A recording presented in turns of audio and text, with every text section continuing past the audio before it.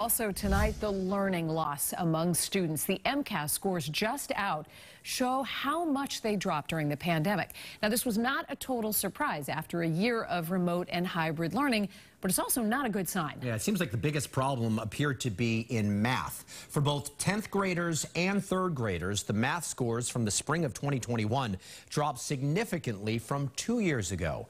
3rd grade scores falling 16 percent. WBZ's Louisa Moller's live for us in Watertown tonight. Louisa, the scores certainly concerning.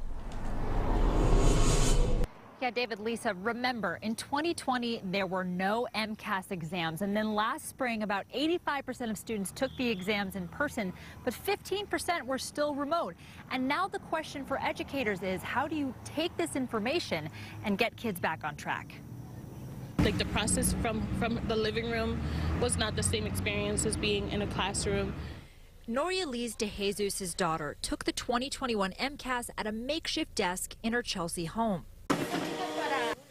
But DeJesus, who works at the social services group La Colaborativa, knows other kids in Chelsea had it much worse. Many of them come with layers of trauma from, you know, unemployment and not having food on the table and uh, harassment from landlords. On Tuesday, the state released scores from the standardized test, which was administered last spring, and the impact of the pandemic is apparent, most notably in math. 33% of students in grades 3 through 8 either met or exceeded expectations on the math portion in 2021. That's compared to 49% of students in 2019.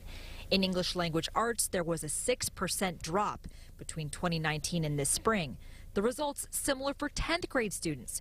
59% met or exceeded expectations in math back in 2019. That number down to 52% this year. There have been several national studies that have already been done on the learning loss that was borne by kids across the country uh, during the course of the COVID pandemic, primarily as a result of the loss of in-person learning, and Massachusetts was no exception to that. Governor Charlie Baker told reporters the test results track with national trends and are an important metric to monitor student learning. But Lisa Guisbond, who's advocating for the end of the MCAS, says the test was an unnecessary burden on kids during a pandemic. Why are we still wedded to this high stakes testing regime that we've had for more than two decades and hasn't closed achievement gaps?